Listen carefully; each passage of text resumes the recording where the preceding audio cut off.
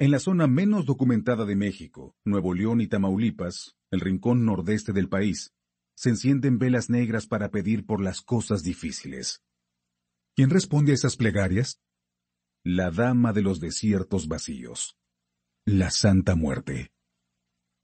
Con excepcional valentía, Diego Enrique Osorno recorrió la región donde la fe depende de una deidad armada de guadaña.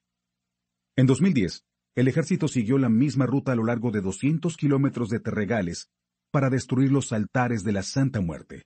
Ya que no se puede acabar con un enemigo incierto, se busca aniquilar sus símbolos. Pero una y otra vez, las flamas vuelven a encenderse. En un país donde los cadáveres amenazan con transformarse en mera estadística, Osorno busca historias, claves de sentido. Convencido de que la construcción de la esperanza pasa por comprender el tamaño del mal, indaga sus causas.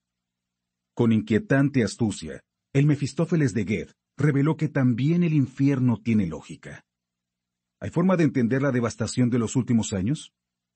La suave patria, a la que cantó Ramón López Velarde, se ha transformado en un sembradío de cuerpos mutilados, y registrar la sangre derramada puede ser peligroso. De acuerdo con Reporteros Sin Fronteras, estamos en el sitio más inseguro para ejercer el periodismo. El trabajo de Osorno representa un atrevimiento, pero también, sobre todo, una búsqueda profunda y racional. No estigmatiza ni simplifica a sus informantes. En cada diálogo, confirma que solo el que escucha a los otros puede descifrarlos. En medio de la barbarie, Osorno toma notas. Estamos ante un cronista que favorece las camisas de inspiración vaquera. Habla con la respetuosa voz de un maestro que no quiere dejar de ser alumno y despliega la extraña bondad de las personas corpulentas que no desean ostentar su fuerza. Con este aspecto campechano, un testigo de excepción investiga turbulencias. El cronista nació en Monterrey, y ahí pudo ver la transformación de una metrópoli próspera, donde el crimen era mítico, en una urbe criminal, donde la prosperidad es mítica. Registrar ese proceso representó para él una dolorosa educación. El sueño de su ciudad convertido en pesadilla. Después de trabajar en medios locales, perfeccionó su oficio en las páginas del periódico Milenio. Miles de reportajes lo acreditan como alguien que, sencillamente, no conoce la pausa. Ningún problema grave le es ajeno. De los mineros muertos en pasta de conchos, a la insurrección en Oaxaca, pasando por el cártel de Sinaloa y los niños calcinados en la guardería ABC. Pero no es el tremendismo lo que guía su prosa sino el deseo de entender con empatía el destino de las víctimas. Sus recursos se han afinado con los años.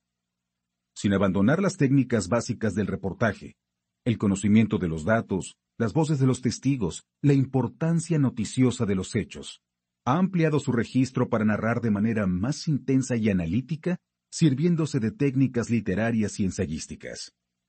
La Guerra de los Zetas confirma a un cronista en plenitud de sus facultades. Para ser fiel a una realidad despedazada, Osorno ha grabado un libro fragmentario, un caleidoscopio cuya unidad depende de la fuerza articuladora de la reflexión. De manera asombrosa, la disolución del país puede tener explicaciones de conjunto. En su vertiente más narrativa, la guerra de los Zetas lleva a las guaridas de los capos y a pesquisas de las que se excluye a otros reporteros que posiblemente informan a los criminales. Reconstruye las polvosas rutas del narcotráfico y entrega entrevistas con políticos, testigos protegidos, sociólogos, colegas del periodismo, soldados y una representante de la Asociación del Rifle en Estados Unidos. Un insólito sondeo de lo que ocurre en la impunidad.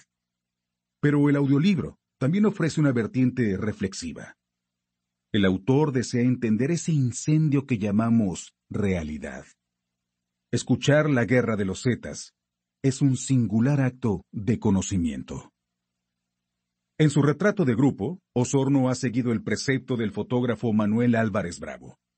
Para descubrir lo invisible, hay que prestar atención a lo visible. El cronista no cierra los ojos y levanta el inventario de los daños. Luego procede, como hacía Álvarez Bravo, a la revelación de un misterio.